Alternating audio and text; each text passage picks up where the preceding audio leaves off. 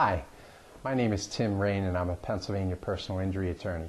Today's legal tip is part of a continuing series, 10 Ways to Hurt or Kill Your Pennsylvania Personal Injury Case.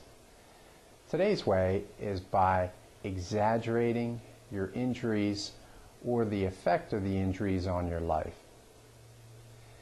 If you exaggerate the extent of your injuries or the effect of the injuries on your life, it can hurt or kill your case.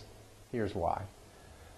The insurance company or the defense attorney has the ability to investigate your case. They can interview witnesses, they can hire a private investigator to conduct surveillance on you. They can do all sorts of things to investigate your life, your activities, and your injuries.